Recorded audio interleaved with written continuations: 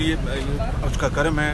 अल्लाह ताला का कि उनकी जमानत हुई है वो घर आएँगे इलाज का सारा इंतज़ाम करेंगे। हम अदालत उजमा के इस फैसले को हम दिल की गहराई से आपके लिए भी अच्छी खबर है मियाँ साहब। ईसीएल से आपका नाम निकाल दिया गया। आज दो अच्छी खबरें आपके सबसे अच्छी खबर तो मियाँ नवाज़ शरीफ की है।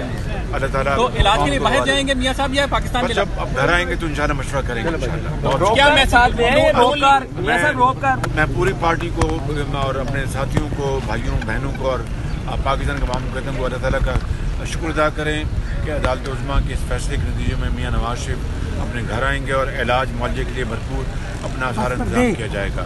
और हम अदालत उजमा की भी बहुत शुक्रगुजार है। Thank you